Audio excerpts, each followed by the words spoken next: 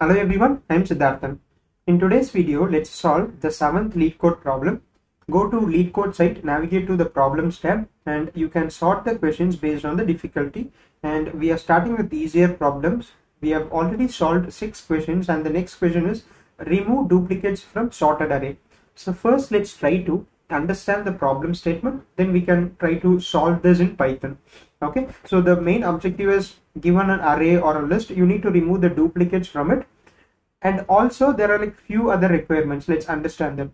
Given an integer array nums sorted in non-decreasing order that means ascending order. So it's in increasing order. Remove the duplicates in place such that each unique element appears only once. So this is the main objective where you're going to take an array remove the unique uh, sorry remove the repeated elements or the duplicate elements but you have to do that in place. This is like a very critical criteria for this particular problem so what is meant by this in place is so if you are given an array called as nums you shouldn't create any other arrays. The change that you are doing here which is removing the duplicates should happen in that original numbers array. So that's what this in place means. So you shouldn't create uh, another data structure and you know uh, save those you know unique values there. So the main objective here is to make sure that you are kind of doing this problem in a memory efficient way. So that's like one way of doing this in place. And again this is like a better way to do this process of doing the change in, in place. And the other requirement is the relative order of the elements should be kept the same. So think about it. So let's say that you have seven uh, values in a list and two values are repeated you need to remove these two values or you need to change the order of these two values but the order of the other values the other unique elements shouldn't change. So that's what they mean by relative order. So you will understand this once we start solving the problem. So these are the two main requirements. One is you need to uh, remove the duplicate values mainly in place without creating any additional data structure and the other one is the relative order of the other element should be kept the same right? And then you need to return the number of unique elements. So if you have like seven uh, elements in an array and there are only four unique values you need to return the value four okay? So they are not expecting the numbers uh, array as the output but they are expecting the number of unique elements okay? So consider the number of unique elements of nums to be k. So let's call this unique elements count as k and in order to get accepted so in order to get your solution accepted you need to do these following things. So these are the requirements. One is you need to return k and the other one is change the array nums such that the first k elements of nums contain the unique elements in the order they were present in nums initially. The remaining elements of nums are not important as well as the size of nums. Let's try to understand what they are telling here so I'll open my markdown file so that I can explain you easier. So let's say that we have this numbers uh, array. Okay, so here if you see this, we have uh, seven elements where one and three are repeated. So the number of unique elements is five. So you need to return. Uh, you need to write a function that returns k, but also change this numbers array such that this numbers is equal to the first five elements should be 1 2 3 4 and 5 okay? And the next elements can be anything. It can be those repeated values of 1 and 3 uh, I can just say that it, it can be like again 1 and 3 it, it doesn't matter. What they want is if you give value as 5 the first 5 elements should have those unique values. And whatever is present after that doesn't matter. So that's what they have mentioned here. So it should contain the unique elements in the order they were present in nums initially. The remaining elements of nums are not important as well as the size of nums. So you, if even remove this one and three that's okay as well. But again it doesn't matter. All they want to kind of look here is like uh, if you give five then the first five elements should have the unique values. Also if you see this the relative position of 1 2 3 4 and 5 doesn't change. Only the repeated values have been moved. So that's the requirement. And then here they have this custom judge that would check this. So like again it, it's basically to make sure that you have done this change in place and uh, the relative orders are maintained and so on. So basically this is what they expect if your input is 1 comma 1 comma 2 then your output should be 2 because it has two unique elements of 1 comma 2 and the third element can be anything. It can be 1 comma 2 comma 2 1 comma 2 comma 1 anything. So they are not interested in that. They are just interested in the first two values because you have returned 2 so the explanation is your function should return k is equal to 2 with the first two elements of nums being 1 and 2 respectively. It does not matter what you leave beyond the returned k, hence they are underscores. So they have given this underscore because this value can be anything. So I hope that you have understood this problem. Uh, now let's try to solve this in Python. and in order to give a clear explanation I'll be uh, explaining this to you in Python in in in PyCharm where I, I can like run this uh, in in debugger mode and I'll explain you so let's create a function with the same name define remove duplicates. And uh, the input data to this will be nums. And here I'm going to say left is equal to 0 so here we are going to solve this by an approach called as a double pointer approach where we'll be creating two pointers called as left and right. So we will initiate this left is equal to 0 and the purpose of this is this left uh, pointer would take like the unique values it moves around and so on. And the right pointer would you know once you have this unique value in stored in left your right pointer would scan through the list and make sure that it's not repeated. So that's the purpose. So here i'll say for right in range 1 comma length of nums so your left would start with 0 and your right pointer should start with the value 1 okay? So this is the double pointer approach. Right. So i mean you can just try printing this right as well if you want. And you can also increment this left as well. And then maybe you can this is i just want to show you how this left and right value changes. So that's why and here I can print this. Yeah, here I can maybe print a marker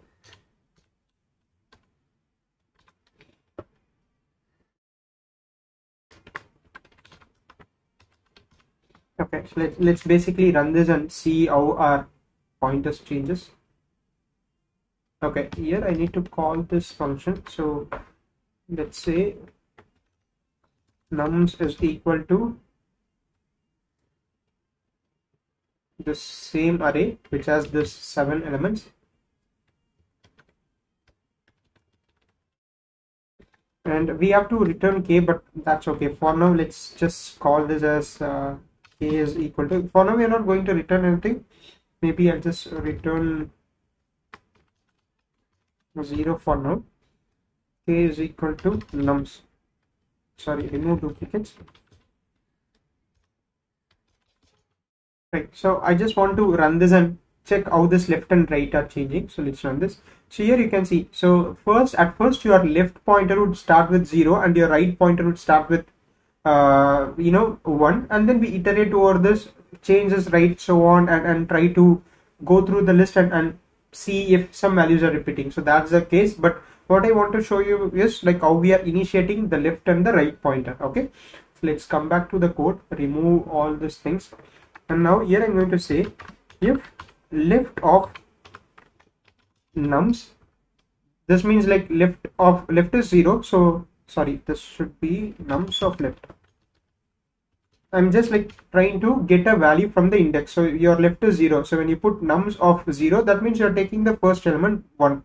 So if this first element of 1 nums left is not equal to uh, this is not equal to nums of right then I'm going to say left plus 1 is equal to 1 so I'm basically incrementing left and say nums of left is equal to nums of right. And then you can just return left plus one. So this is like the entire code. So this is like a, a, simple problem to solve but let's try to understand like what's exactly is happening here.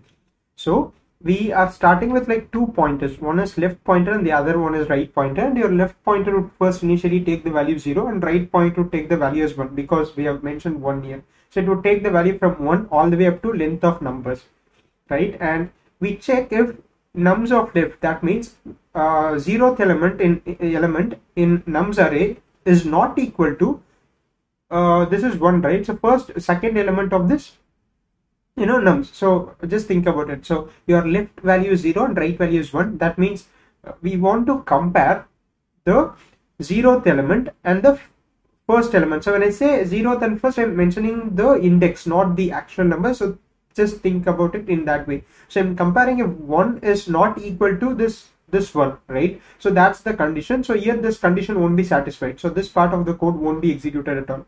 Now we go to the next step so now your uh, left would still remain as zero but your right would have changed from 1 to 2 right? Because it's in this for loop. Now we check. Nums of left is not equal to nums of right. So in this case your nums of left is nums of 0 because left didn't change and your right changed. So this would be nums of right which is nums of 2 so nums of 2 is nothing but this number uh, the third index. So in this case it's not equal to basically it compares this one this two so th these are not the same. So we increment this left. So when you increment this left you will this left of 0 would become left of 1 and now we change this left of 1 so when you run this particular code which is nums of left that means uh, nums of 1 is equal to nums of right. So ideally or or in eye level what this would do is if the value is not matching this would shift the value to from this place to this place. So again we keep doing this until a point where we go through the entire list and